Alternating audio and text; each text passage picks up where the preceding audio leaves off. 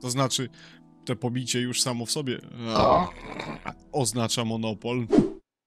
Także witam panowie dzisiaj bardzo serdecznie. Po dłuższej przerwie znowu. I ostatnio, jak y, pamiętam, skończyliśmy chyba szukając grzybów, prawda? To dzisiaj kontynuacja szukania grzybów. Czyli Jorwan w krainie grzybów, łamane przez krainie czarów. Jest dosyć ciemno, bo godzina... Nie wiem, czy to będzie widać na kamerce. Czekaj. Zrobię tak, żeby było widać. Czyli o, powinno być widać 18, 19, yy, 19. W tym momencie Panowie, czy jakieś tematy są? Temat jest bardzo gorący i wieczysty. Ryzen wychodzi najnowszy wersja se seria 7000, tak? Czyli mówimy tu Ryzen 9 7950. Powiem tak, to jest kolejna generacja, mega upgrade jeśli chodzi o productivity, niekoniecznie o gaming. W gamingu oczywiście bije Intela i tak dalej na mordę, co mnie nie dziwi, bo to po prostu generację wyżej niż aktualny Intel. Mimo, że Intel fajnie ostatnią generację 12 tysięcy seria była w porządku. Do gierek była nawet lepsza niż Ryzeny, chociaż Ryzeny były zawsze lepsze w productivity i dalej są. No to nowa generacja będzie lepsza we wszystkim. Wychodzi za dwa tygodnie tak naprawdę. Problem jest tego typu, że to będzie nowa platforma, czyli tutaj, żeby zupgrade'ować, no niestety trzeba wyłożyć sikora z kieszeni i go sprzedać w najbliższym Lombardzie, no bo musimy tu złożyć tak, płytę główną, bo to nowa platforma, czyli płyta główna, CPU, RAM, zakładając, że ktoś ma DDR-ki piątki, piątki, także no jak jak ktoś ma to ma fajnie, jak ktoś nie ma piątek to ma przejebane. Czyli w tym wypadku tak jak Jorvex. Ty da mi to manę teraz? Już więcej man nie dostanę. A właśnie, z tego tytułu many nie dostanę. Czyli mówimy jeszcze raz, płyta, CPU, MOBO, RAM, cooler. Ryzen y, 7950 będzie wymagał najmocniejszego, jaki się da kupić. Bez podkręcenia ten procek będzie gorący. Pokaż mi. Y, 230 TDP. Najmocniejszy, naj, naj, najmocniej prądożerny consument grade CPU, jakich wyszedł w historii. I tak, to wszystko na razie są plotki, bo jeszcze nie było oficjalnej premiery, nie było oficjalnych testów. Czyli można dołożyć jeszcze to do kosztów. I należy pamiętać, że oprócz tych kosztów, które wymieniłem, dochodzi jeszcze PSU, yy, zasilacz.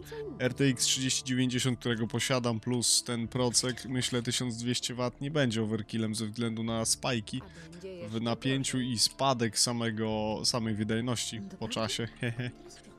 No, niestety jest przejebane, panowie. Żeby kupić ten zestaw, złożyć, myślę do 10k złotych. Do 10 pierdolonych tysięcy, żeby złożyć nową platformę. Oczywiście to jest najlepsze, co jest aktualnie dostępne, ale my mówimy tylko o platformie. Czyli dosłownie o test benchu, a niekoniecznie komputerze, bo komputer, żeby istniał, potrzebuje jeszcze dysku do tego, co powiedziałem. Potrzebuje dysku twardego, najlepiej NVMe y, generacji piątej, czwartej, whatever. Tam będzie PCIe, y, PCIe generacji piątej, czyli nie wiem, czy już dyski są generacji piątej, w każdym razie będzie wspierać.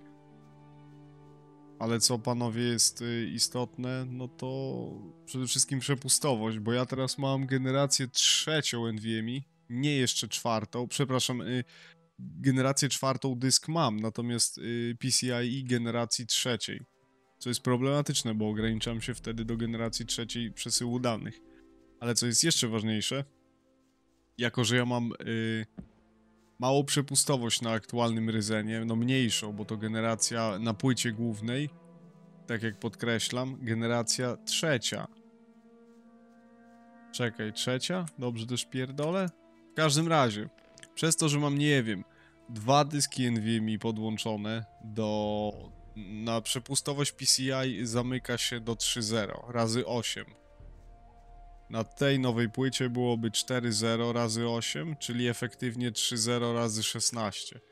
Dlaczego? No bo jak masz dwa dyski, no to wszystko idzie do CPU opierdala ci ilość linii PCI.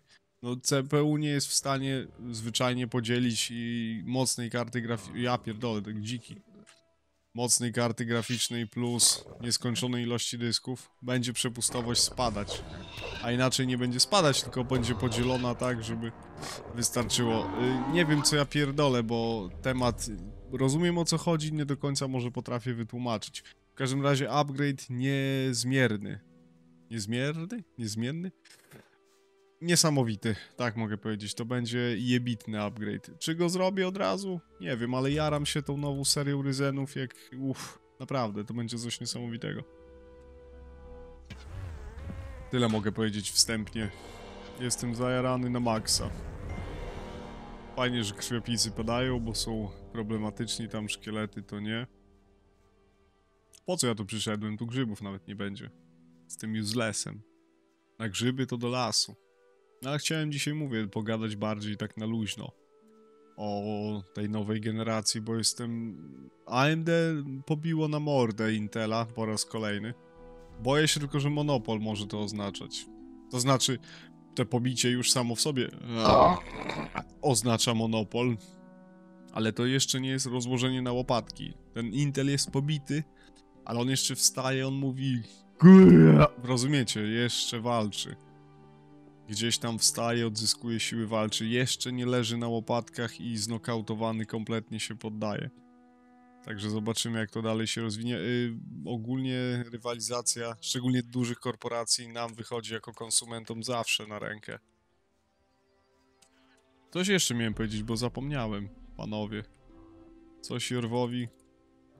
Goni mnie szkielet. I mi przypierdoliłby na hita. A, dalej bawię się y, w opcjach, y, no żeby widz, czyli wy, bez kapy, żebyście mieli jak najlepszą jakość. Ale już w tym momencie nie 4K, pierdolić 4K, raczej, raczej celuję... Ty, szkielet, patrzcie, szkielet walczy z kretoszczurem. Kretoszczur go ignorował, to był błąd. Teraz o, na hita. Bardziej będę celował w ten ATP. Wróciłem na ten ATP 240 Hz. Powiem tak, 4K jest zajebiste, 4K nie jest dla Jorwa. Wracamy do y, competitive. Wy tego nie widzicie, mam w tym momencie 240 Hz. Gra się tak przyjemnie, że jak kurwix. Parę rzeczy, jeśli chodzi o gaming, to pozmieniałem i raczej to będzie już stałą, y, że tak powiem, charakterystyką Jorwa. Czyli to, że jednak w grach znowu wracanie do maksymalnie, może nie, ale bardzo niskich detali, prawie że yy, minimalnych. Dlaczego? Krótka piła. Mi ogólnie odpowiada taka grafika. Ja lubię, jak tekstury są rozmyte. Może to się wydawać dziwne, bo tekstury przecież stanowią clue wszystkiego. Więc jak ja mogę lubić, jak są rozpierdolone? Paradoksalnie lubię, no. Co mogę wam powiedzieć? Ja musiałbym zobaczyć, która y, rubryczka odpowiada tutaj za tekstury w DX11, w Gotiku i za modele. Ja bym sobie potestował, jak to wygląda. Ja lubię surową grafikę, gdzie jest czysty obraz, gdzie y, tekstury to w zasadzie jest pojedynczy kolor. Ja wiem, że to się wydaje pojebane, ale ma to swoją estetykę. Mam już tych grzybów? Dwa grzyby jeszcze muszę zdobyć. Gdzie byście byli, gdybyście byli grzybami? A wiem, gdzie byście byli w sumie. Ja wiem, gdzie ja byłbym, gdybym był grzybem. Dzisiaj taki pierdolony odcinek, w sensie przepierdolony, przegadany. No ale mówię, muszę się podzielić. Yy, bardzo mnie nastraja pozytywnie ten Ryzen. Tylko podejście AMD finansowe, wiecie, dużo osób mówi, spotykałem się na, na komentarzach pod tym filmikiem, że kurwa, drogo, dlaczego tak drogo? Tak, jest drogo, ja wiem, że jest drogo, ale pamiętajcie, że mówimy tu o aktualnie dominującej firmie, poniekąd, no, do, nie no, już dominującej na rynku, więc y, zaczyna się bajabongo z monopolem. No i padłem, zajebiście. Zaczyna się pajacowanie z monopolem, ale co się również zaczyna, to mamy długą inflację i ta inflacja jest w każdym sektorze gospodarki, ale też ogólnoświatowa, więc naturalnym będzie, że te ceny pójdą w górę jebitnie. Przepraszam, ale Jeżeli ktoś uważa, że, że to jest nie fair, że ceny idą w górę, no to jest nie fair, że myśli w ten sposób. Ceny pójdą w górę i będzie jeszcze gorzej. Także jeżeli chodzi o technologię, to brać to teraz, bo później będzie naprawdę w pizdę jeszcze bardziej. Dołóżmy shortage, który może mieć miejsce. Nie wiem, czy najdroższego procesora będzie shortage. Mm, nie wiem.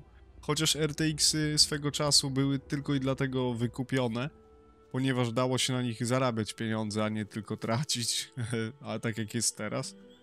No niestety na tych y, CPU stricte kopać się nie da, żeby wychodzić na to na, na plus, bo są za bardzo prądożerne. Mimo, że są wydajne, to, to zwyczajnie jak przy aktualnych cenach prądu je but. Wszystko na łeb na szyję. Ale coś jeszcze miałem powiedzieć i już y, gdzieś gubię wątek znowu. Że nie będzie shortage'u, zakładam. Może być. To jest 50-50 wyróżnienie z fusów. Załóżmy, że nie będzie shortage'u i, i ten procek jest do zdobycia. Jeśli dałoby się preorderować, to bym wziął. Może nawet gdzieś tam się da, ale powiem wam szczerze, boję się, bo nie było recenzji oficjalnych. Grafy wyglądają zajebiście, na, na, na, na wykresach zawsze to y, pięknie wygląda, a realizm świat rzeczywisty pokazuje, że nie do końca to się, że tak powiem, jeden do jednego odnosi. Także zobaczymy sobie już w praniu. A pranie niedługo, bo zostało do premiery 3 tygodnie. Ja akurat do Polski pojadę na wakacje. Moje. I mam nadzieję, jak wrócę, wszystko będzie wyklarowane.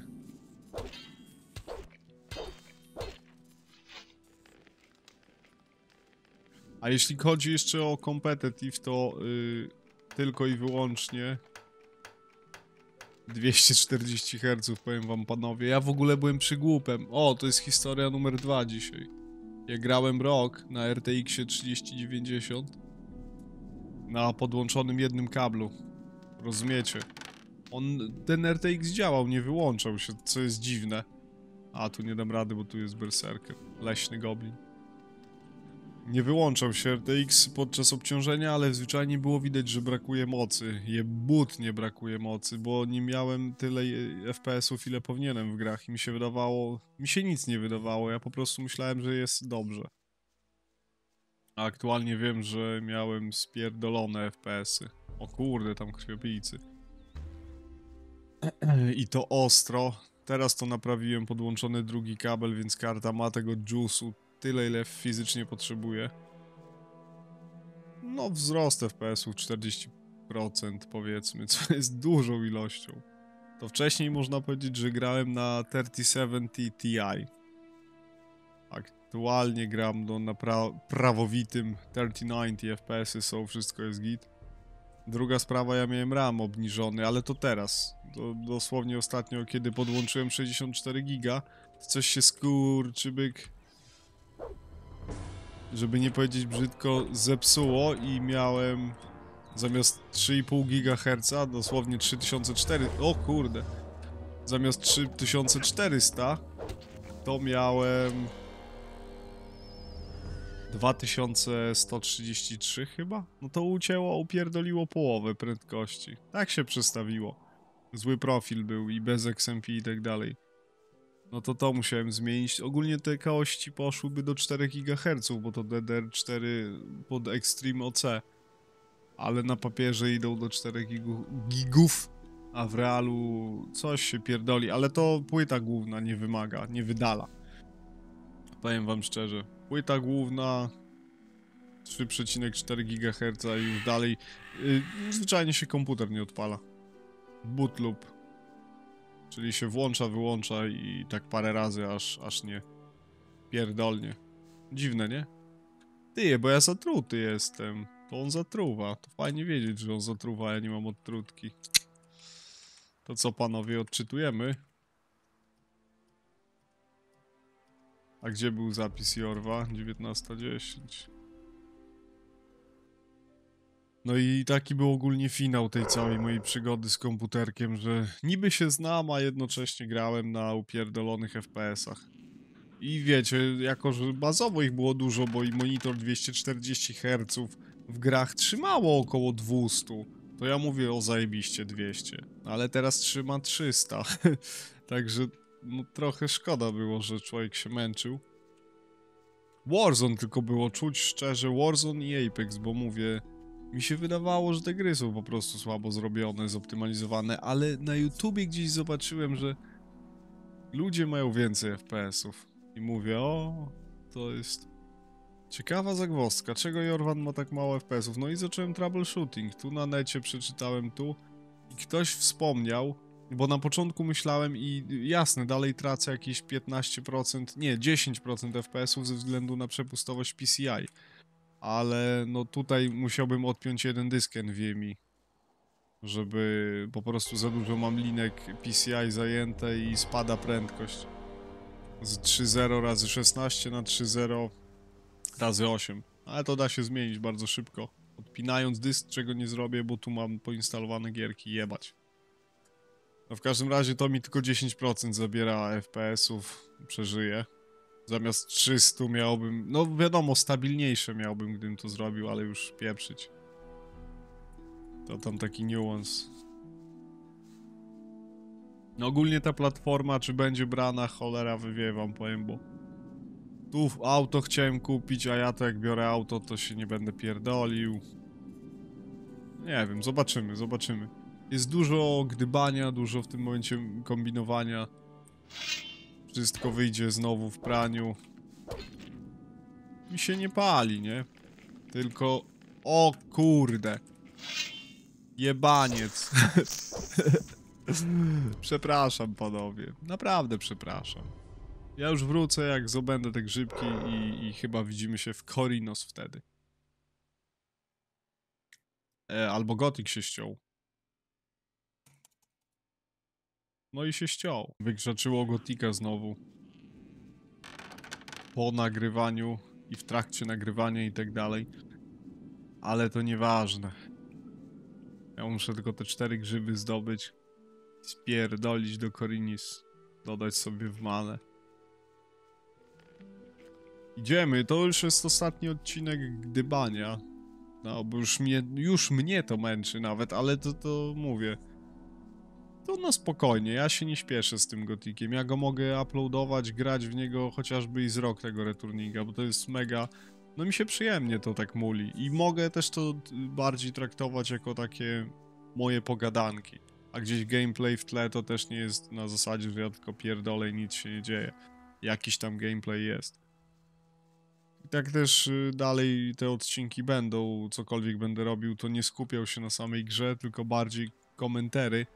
I to będzie daily komentary do wszystkiego, czy do tego, co się dzieje na YouTubie, czy gdzieś tam do newsów technologiczno-gamingowych. No mówię, no. Dzisiaj mega newsem jest e, technologiczne nowinki ze świata e, no, CPU, no słuchajcie, sprzętu komputerowego. Zajarany jestem jak popierdol. A nie powinienem, bo to mega konsumpcyjne podejście na zasadzie wychodzi coś i ty to chcesz mieć, ale no ja właśnie staram się z tym walczyć, bo akurat będzie tak, że ja wrócę i wiecie, mi się kończy w pracy ten okres, kiedy jest naprawdę zapierdol, kiedy jest overtime'u tyle, że że no, zwyczajnie będę miał za dużo czasu wolnego i człowiek wtedy siedzi i mówi dobra, gram w takiej ilości FPS-ów, a mógłbym grać w takiej i porównujesz sobie i ty myślisz, no, czy mi to potrzebne? No i tak myślisz, myślisz, myślisz i dochodzisz do wniosków różnych, najprawdopodobniej mi to niepotrzebne. O ja pierdolę, zabije mnie z tej kuszy. To go zbejtuje. Skoro już mnie goni, to go zbejtuje do Grimbalda. Wiecie, no mi nie jest potrzebnych więcej FPS-ów, bo to co ja tu mam na przykład do gierek, no się mega zajebiście gra.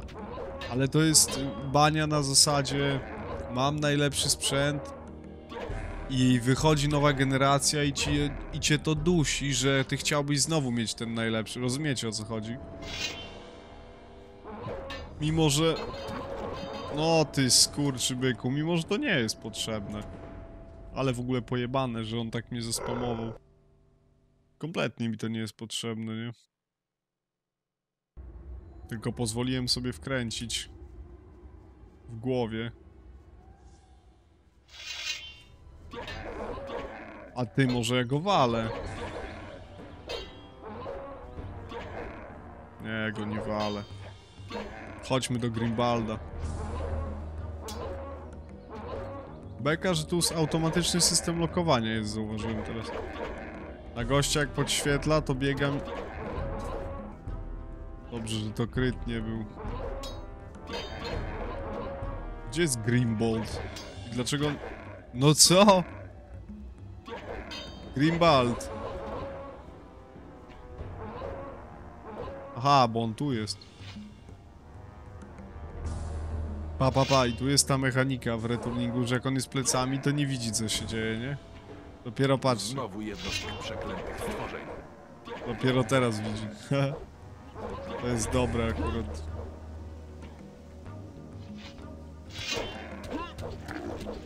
Tyle na ten... No i się pozbyłem w końcu śmietnika. Bruździł mi ten zwiadowca. Mówię. Dalej będę próbował pozmieniać modele i tekstury, żeby to było... To też ma zastosowanie, bo wy powiecie, że to jest y, brzydko wyglądające i tak dalej, ale to będzie miało praktyczne zastosowanie. Serio. Z tegoż względu, że łatwiej spotować roślinki, a tu trzeba wszystkie bonusy wyzbierać, jak już wcześniej mówiłem w tym returningu. O kurde. Ty. To nie jest ogólnie cheatowanie czy coś. Przechodzę górami, ale... Nie to jest teraz... Nie pierdol, że tu się zapada człowiek. What? Przecież tu normalnie tekstura była, nie w returningu. Idź pan w dupę. A teraz woda jest. Nie wiem, coś jest y, osrane. No w każdym razie tu jest skrót taki przez góry. Według lore gry i według tego, że returning tu ma teksturę, gdzie się pływa, to normalnie miałeś y, skałę, po której dało się przejść. To jest takie szybkie... Bo szybkie, nikt się nie może kłócić. Dosyć przyspieszyło mi to. Przejście do klasztoru. Tu w ogóle jaka miejscówka, jak tam wpadniesz, to już nie wyjdziesz. Zablokowane forever. Beka, co? Że można tak sobie po dachach przeskoczyć. No, tu w ogóle w klasztorze jest sprzęt do, do wykradnięcia, ale na razie nie, nie dam rady. Pierścionek 5 many. No ja go biorę. 500 golda zmarnowane poniekąd, ale ja go wezmę. Dalej mi się FOV zmienia, what? Przecież Basic FOV było gotikowe 90, prawda? Dziwne to jest trochę FOV, bo mało widać.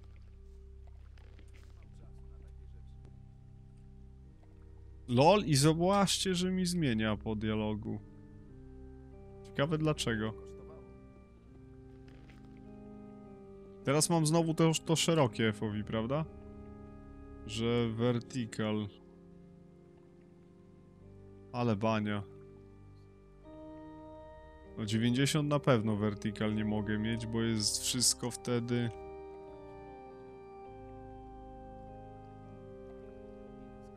Też tu nie mogę mieć takiego czegoś. Pojebane.